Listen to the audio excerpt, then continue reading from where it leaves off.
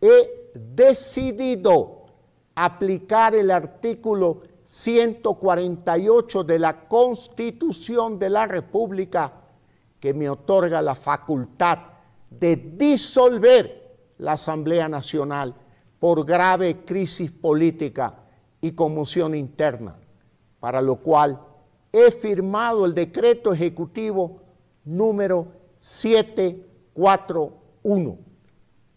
Además, he solicitado al Consejo Nacional Electoral la convocatoria inmediata a elecciones legislativas y presidenciales para el resto de los respectivos periodos.